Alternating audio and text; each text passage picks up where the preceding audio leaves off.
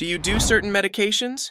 Well, this anime is about a woman that does a lot of medication, if you know what I mean. And no, I'm not talking about marijuana. Mao Mao is a young apothecary with a hunger for adventure and a taste for disaster. She has learned so much about medicines, potions, and she even experiments on herself to the point that she has scars all over her body. She gets involved in an unfortunate kidnapping incident and has to spend the next couple of years in the Emperor's house with four baby mamas. Crazy, isn't it?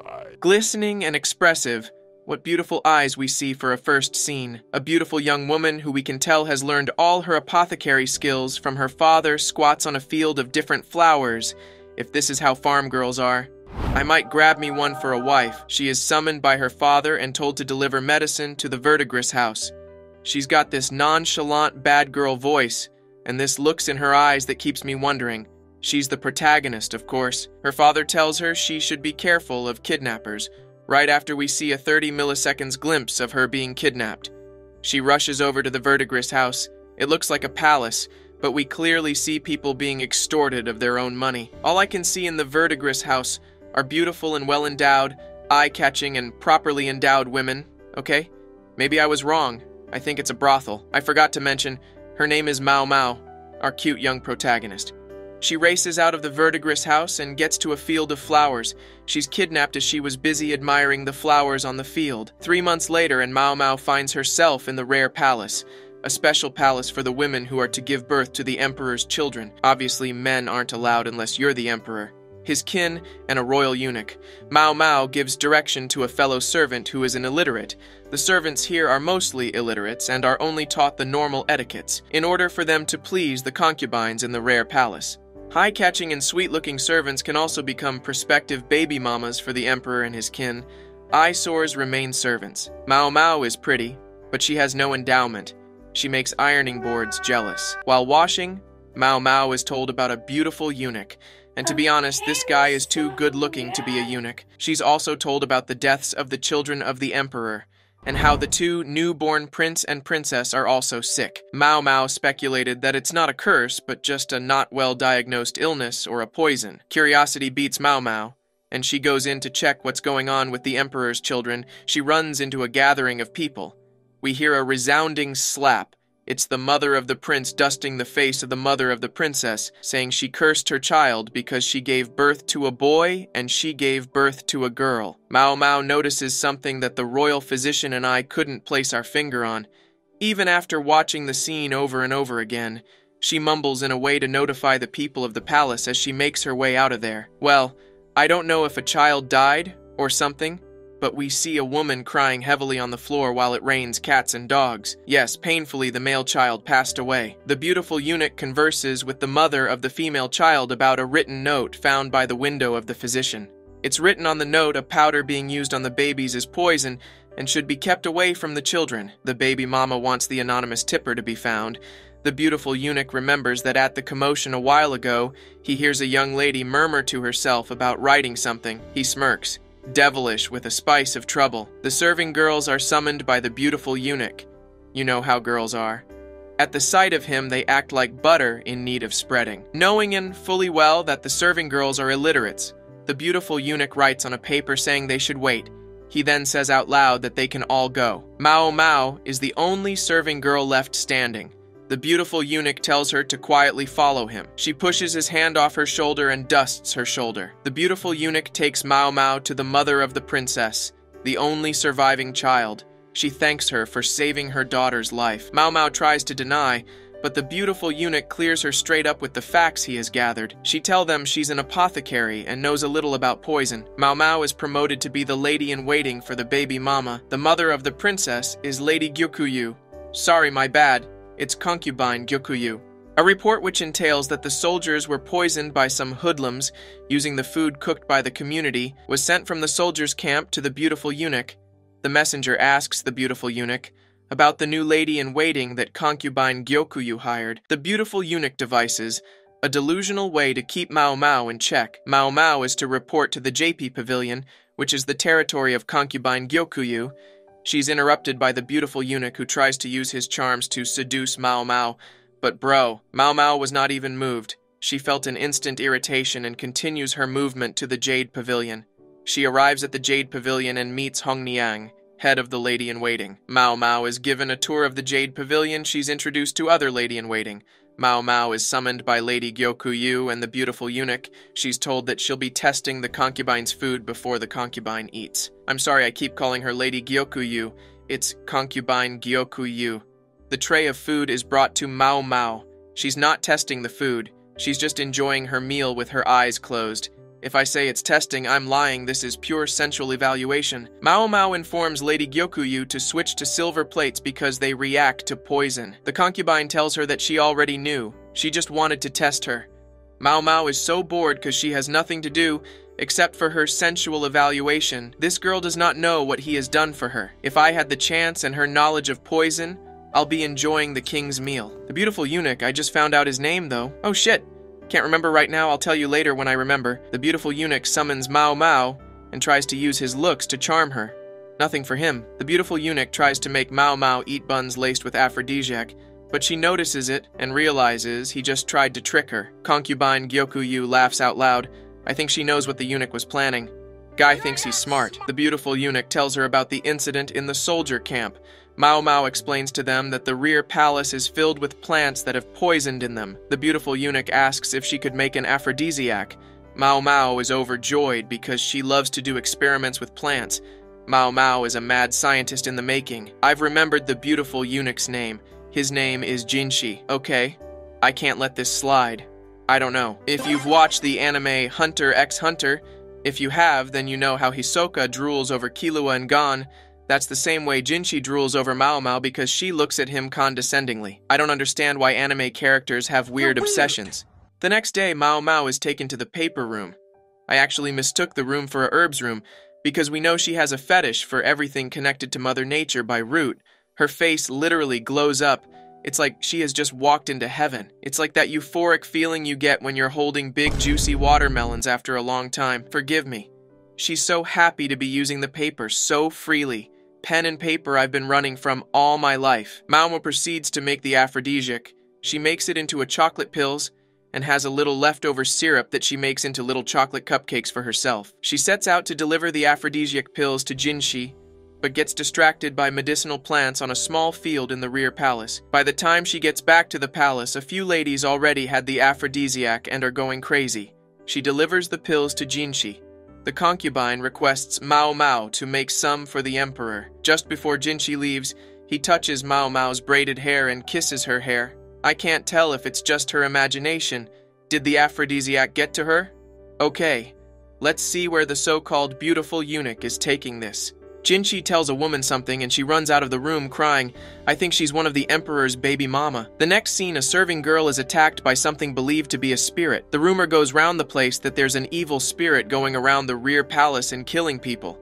But as usual, Mao makes nothing of it. Mao Mao goes to the royal physician's place, and she's perplexed because a while ago he was so wary of her. And now he even makes her tea. Why is he so laid back? Just about to take tea and cookies from the physician, that evil spirit called Jinshi shows up and says he wants some, and the physician goes to bring some more. She didn't get to take any. Jinshi asks her if she knows anything about sleepwalking, and she denies and says it has nothing to do with medicine, but Jinshi persists and, well, she gave in to do what she can. Wait, that means Jinshi knows the so-called sleepwalker that's killing people and the name is Evil Spirit. Nightfall.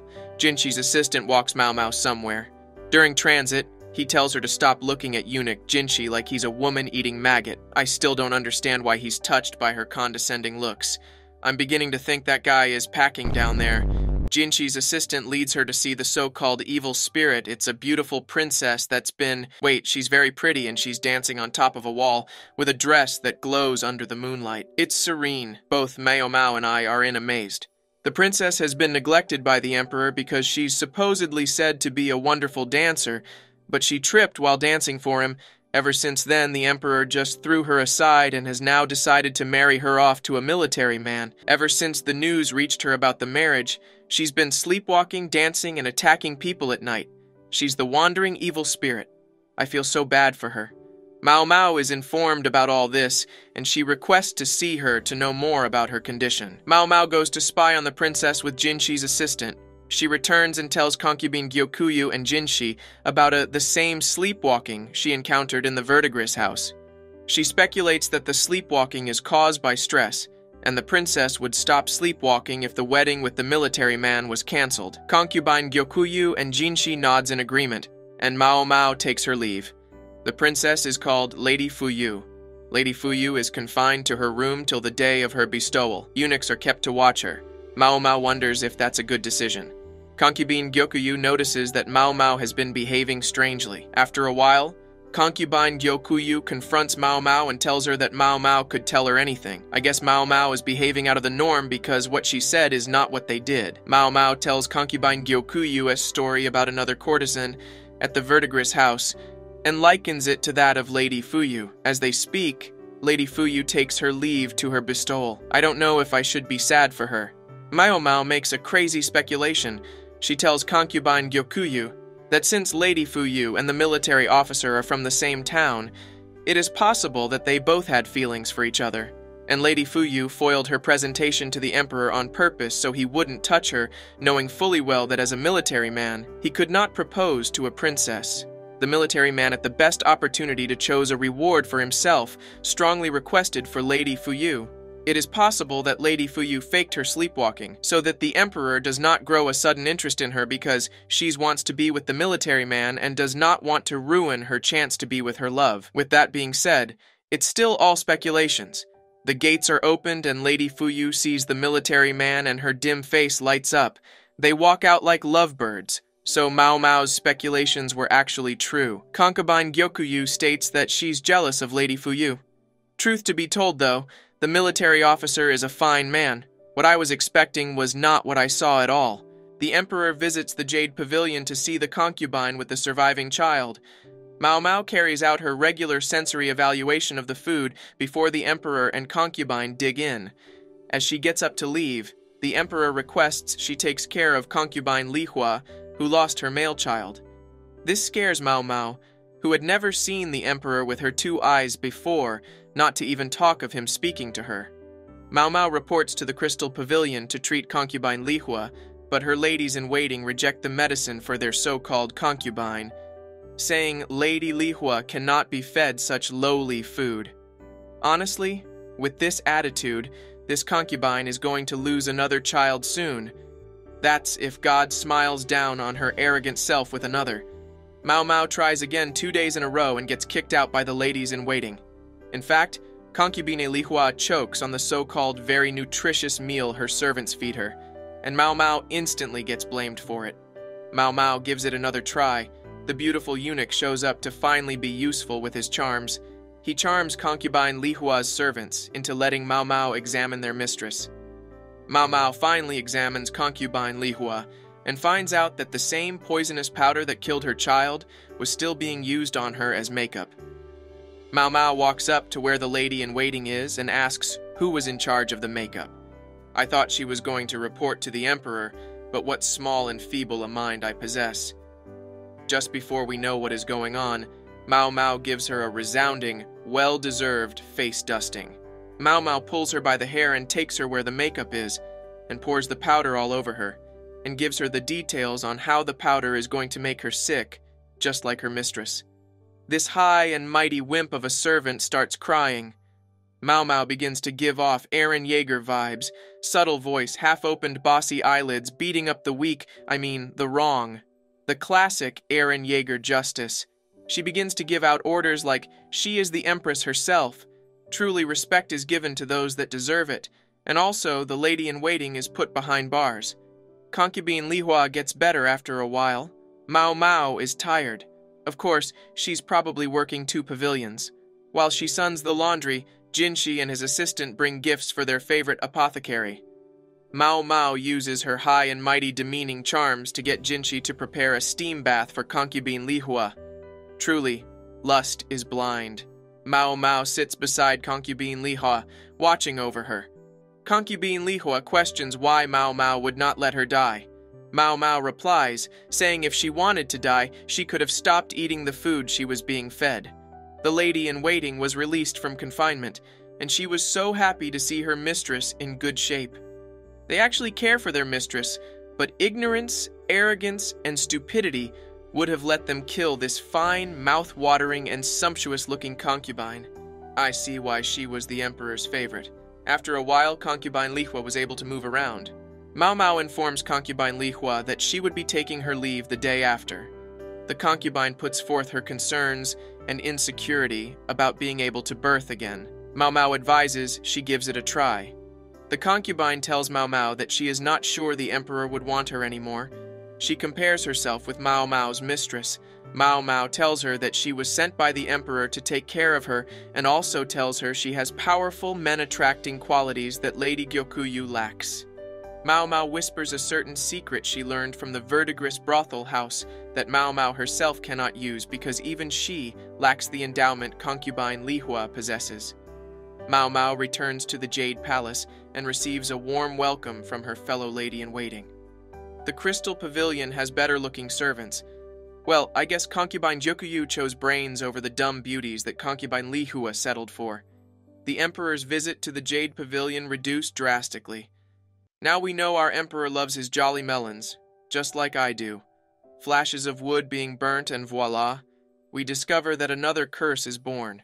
The doctor goes in to bring what's required to prepare their sumptuous meal, and while they savor their mushroom meal, the man from the first scene with the cursed hands shows up and asks if they can make a cure for his curse. Mao Mao makes an ointment while he enlightens us all about the newly arrived curse. It all began two nights ago. You know the story already began. He was doing his usual duty of burning the waste that comes out of the rare palace. I have come to the conclusion that nothing good comes out of that part of the palace. It's called rare for a reason. When a wooden tablet wrapped in a burnt woman's clothes fell from the trash, he picked it up in curiosity but goes ahead to throw it into the fire anyway.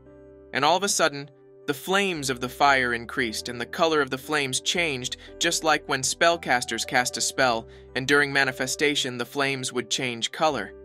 I hope they have not introduced witchcraft into this. Mao puts on a little magic show lighting a fire stick and changing its color, explaining how certain compounds cause fire to change its color. She tells him that the reaction on his hands is probably to a certain compound on the wooden tablets. We hear applause. It's Jinshi. He takes her aside and questions her about the magic show she put on, and just as she's about to leave, he tells her he likes his own steam boiled, the mushroom that is. Mao Mao walks in on a garden party preparation at the Jade Pavilion.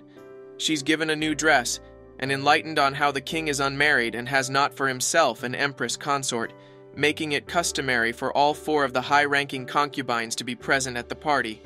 If you ask me, I would just tell you that the emperor is just keeping his option. I'm sure the emperor has to roll dice just to select who he's going to spend time with. Mao Mao makes arrangements for the difficulties she is likely to face at the garden party event. She makes sweets to increase blood flow and keep her warm, she also makes an inner vest to keep her warm using warm stones.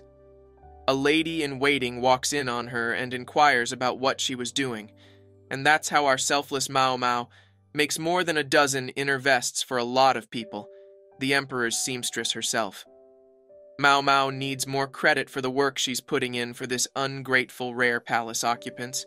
Concubine Gyokuyu adds a little extra finesse on her ladies, she decorates them with jewelry on the day of the party. Jinshi goes about greeting the high-ranking concubines. He greets concubine Gyokuyu last. I know he is like a wholly castrated playboy, but he gives the best compliments. He doesn't even recognize Mao Mao with her freckles off. Apparently, she puts on freckles to avoid being dragged down an alley and messed with. Mao Mao shares her story of how she was kidnapped and sold. She expresses how it angers her. Jinshi seems sympathetic and gives her his hairpin in disguise of patting her hair. Jinshi for the first time keeps a straight face. It's so unlike him. Jinshi takes his leave and Mao Mao takes off the hairpin, and she wonders why he gave her a man's hairpin. Wait, men have hairpins? The other ladies in waiting gather around Mao Mao to admire the pin and act like me when I see my girl take off her bra. Excitement! Concubine Gyokuyu takes the pin from Mao Mao and puts it back in her hair. She tells Mao Mao that she is no longer hers alone, just as Mao Mao tries to ask what she meant by that. The party drums are played to signify the beginning of the party. I can feel some kind of drama about to flare up, and I can't wait to know what is going to happen. So cold, the ladies in waiting cling unto themselves for warmth assisted by the hot stones. It's crazy the fact that they kept these fine young concubine assistants out here to die of cold, Meanwhile, the emperor and his concubines sit in the comfort of their tents, listening to music and enjoying the show. Concubine Li Hua's lady in waiting criticizes concubine Gyokuyu's lady in waiting for being so classless. These flimsy, illiterate, and dare I say foolish women don't remember Mao Mao's face because her freckles are gone and she's got a little makeup on. Just as Yinghua, Mao Mao's fellow lady in waiting, mentions her name, fear strikes their heart. And PTSD of the little fun they had with Mao Mao flushes their brain. They all run like the brainless chickens they are. They just look good for eating. Nothing up there. Mao Mao mentions that it's about time they change their pocket warmers, and her fellow lady in waiting gets delusional about how nicely Mao Mao treats them. A clash between ladies in waiting of different concubines is called a proxy war, and concubine Aduo and Lishu's lady in waiting are at it. Mao Mao is informed that concubine Aduo is 35 years old and concubine Lishu is 14 years old. There's no way I can relate this to anything because how can you be a mother in law by the age of nine? Mao Mao and the rest of us are sent into complete and absolute shock finding out that the previous emperor that died five years ago was Lady Lishu's master. She became a mother in law to concubine Aduo, while only at the age of nine, and now concubine Lishu is a concubine to the new emperor meaning concubine Lishu and Aduo are concubines to the new emperor. I have already developed a headache just explaining this. Mao Mao holds her mistress's child, just as the young concubine Lishu walks by and gives her the looks. A hairpin is handed to someone, and Mao Mao wonders why. She's told it's how they recruit talented servants in the rear palace, or maybe it has another meaning. Some dude we've never seen before comes over with a stash of hairpins on his waist like Batman's utility waist belt and gives Mao Mao a pin that looks like wood or bronze. It's not attractive or good looking at all. As soon as he takes his leave, the other lady in waiting appears, asking about the ugly hairpin. Concubine Li Hua comes with her lady in waiting and blesses Mao Mao with a wonderful, very pretty hairpin. It's about time Mao Mao does her job, sensory evaluation, but before the food and juice arrive, she sights an array of soldiers and sees Jinshi's assistant amongst them and also the guy that gave her the ugly hairpin. Juice is first served, followed by fish and vegetable dish. Mao Mao enjoys her job, but the other food testers eat with dread on their faces. The fear of death is one that has but a tight grip on them, and before you know it, Mao Mao is served a soup to taste. And with the flush on her face and licking of her lips, you would wonder how sweet the food tastes, not knowing that it's laced with poison. Mao Mao stands up and informs the crowd that the food is poisoned and runs out to cure herself. Hold up, wait. Did he just say poison? The minister, so dumb and full of lack of wisdom, walked in and tested the food and collapsed. He was just informed of the poison. Was he not? But a man must make sure that she's not lying with his own life. Jinshi sees Mao Mao running and follows her. He calls out to her, and she greets him with nothing but a mischievous smile on her face. You won't believe that this fellow human being like you and I just ate poison. Jinshi grabs her by the hand and tells her he's taking her to the infirmary. She requests the remainder of the soup, and Jinshi, wondering just how stupid she is, tells her that a minister tried the soup and has collapsed. She immediately gives him an antidote from inside her garment. He grabs it off her and continues walking holding her hand. Mao Mao requests concubine Li Shu and her food tester after she is treated by the infirmary. Mao Mao questions concubine Li Shu if she could eat fish. Jinshi queries why she is asking that, and Mao Mao explains that people have certain foods that they can't eat because their body reacts to it in deadly ways. Concubine Li Shu confirms that she can't eat fish, and Mao Mao goes back into Eren Yeager mode once more chastising and telling the food tester what to and what not to feed her mistress. I was honestly thinking that she wanted to question them about trying to poison concubine Gyokuyu, but somehow, somewhere, Mao Mao concludes that the food was mixed up because of the way it was cooked. Concubine Lishu takes her leave with her concubine.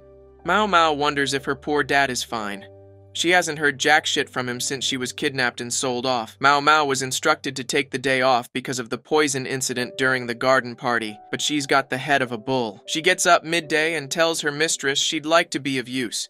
Concubine Gyokuyu informs her that Jinshi's servant is around and would like to see her. She heads to the parlor to see him. He gives her the meal from yesterday, which was laced. She takes powder and runs a forensic test on it, making fingerprints visible on it and she decodes fast that it was touched by four persons the person that dished it, the transporter, concubine Lishu's tester, and the poisoner. At this point, I had to adjust my seat because things were beginning to get very interesting. Jinshi's assistant wonders why the food tester touched the plate already. Mao Mao explains that concubine Lishu's lady-in-waiting is trying to bully concubine Lishu. She further explains that first they made her wear colors contrasting the Jade Pavilion, and then switched the food in order to further bully the concubine. I don't get the messed up explanation here, but it all has something to do with concubine Lishu getting married to the son of her former master and the indecency it entails. So her own ladies in waiting are bullying her the concubine is just 14 years old for crying out loud. Jinshi's assistant questions why she didn't spill the beans on those stupid lady-in-waiting bullying their own master. Jinshi's assistant reports back to his master and gives him the tea about what's going on. Jinshi is relaxed now that he has gotten his cup filled. He decides to rest his head since he hasn't gotten any rest since the incident occurred. His assistant reminds him to remove his hairpin so it won't break while he rests, and these two conniving master and assistant mention something like Jinshi hiding his true identity. Mao Mao goes and visits her servant friend, bringing her delicious meals as always. Her friend mentions something about the hairpins that she's received, and it piques our interest to the fullest. Apparently, if you're given a pin, you could use it to see someone inside or outside the rear palace, and it could also assist you in leaving the rear palace temporarily. Mao Mao runs and requests to see the man who gave her a hairpin at the garden party. He remembers her face from the food poison incident and decides he's going to decline whatever she requests. I'm just laughing. He doesn't know she's going to pull up with some Eren Yeager level of bargain that's going to leave him with nothing but reasons to accept her offer. She arrives at the meeting point, and he tries to act all high and mighty, a low ranking soldier for that matter. He is raising shoulders.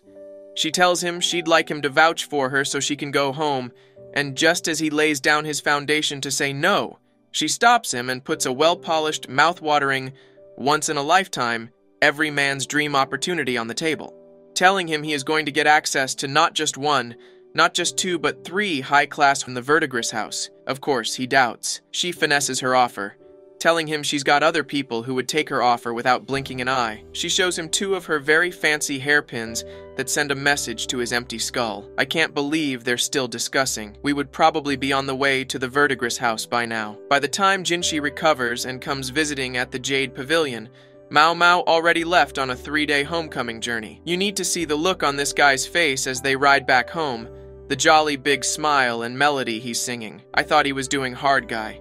Stupid goat. As a big boy, he uses a carriage to take her home. Man's gotta come in grand style. They arrive at the Verdigris house, and Granny welcomes Mao Mao with nothing but a high knee kick on her stomach. Mao Mao explains to her traveling companion that it's their normal way of greeting. Granny welcomes their customer and sends Mao Mao home, and now I see where Mao Mao gets her nonchalant attitude from. The looks and all. Because how can your child who has been away for 10 months straight Walk back home and you'll act like nothing happened, like she's been gone for just two extra hours that you sent her out. I can't even spend a night out without letting my parents know. Or the next day they'll be missing posters all the way half across the earth. Mao Mao fills her dad in on all the adventures she's been having. And from the look on his face, something's cooking. Something big is cooking.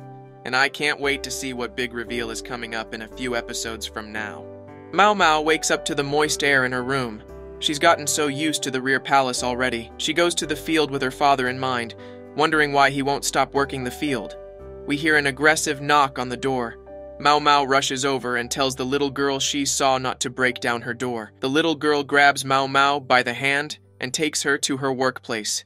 A lady and a man consumed poison. The man is lying lifeless while the lady is finding it really difficult to breathe.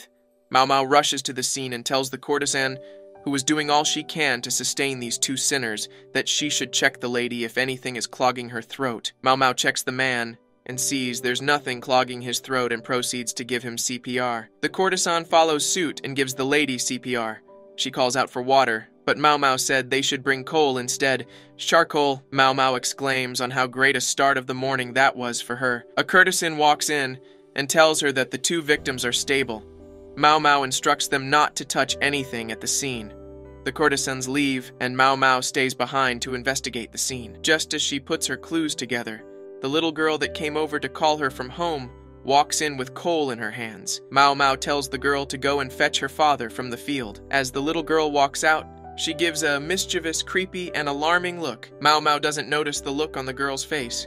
The little girl returns with Mao Mao's father a little bit late. Mao Mao's dad explains that the little girl kept worrying about his foot. A medicine is prepared and given to the victims. Mao Mao's dad compliments her skills, saying her treatment is not bad. Not bad, huh? Mao Mao's dad asks her what type of poison she thinks it is. Mao Mao explains that tobacco leaves are deadly poisons. That's why she didn't give them water because it would make things worse. But Mao Mao's dad asks her what if the poison was already dissolved in water. Mao Mao immediately realizes that there's no tobacco in the vomit. That means someone poisoned them, but who? Mao Mao and her father were rewarded by the head of the brothel. Mao Mao speculates that the incident might have been double suicide, a man who's not wealthy enough to buy out the courtesan and a courtesan with a long time left in her term can both reach the same conclusion. It's not something that's new in this area, but the man was well dressed. He doesn't look like someone who's short on money. Mao Mao excuses herself to go and check on the victims, and to our greatest surprise, we see that little girl doing something ridiculous. She was about to use a knife to end the man's life. So she's the one behind all this? No wonder she's got this look in her eyes like she doesn't just care but has no choice but to do as she's told. Right from when she saw Mao Mao at home, Mao Mao quickly rushes over and grabs the knife from her hand. She tries to fight back.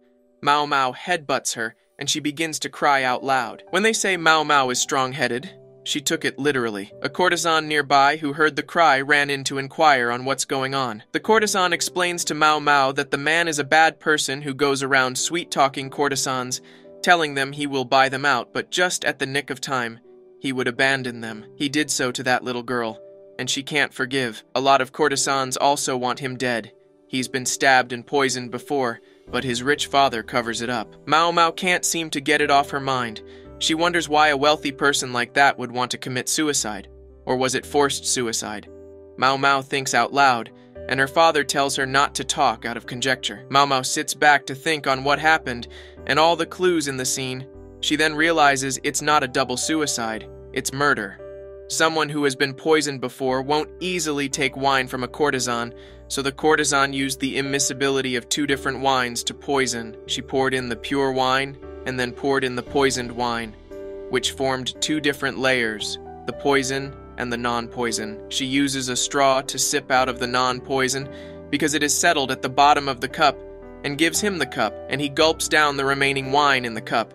She also gives herself a very small portion of the wine just enough so it won't kill her. Fear women. I beg you in the name of God, fear women. Mao Mao takes a stroll around the area. She doubts everyone in the brothel, including the little girl, because why would she first run to an apothecary shop and not to the doctor? Her three days homecoming journey is over. Mao Mao takes her leave in the morning.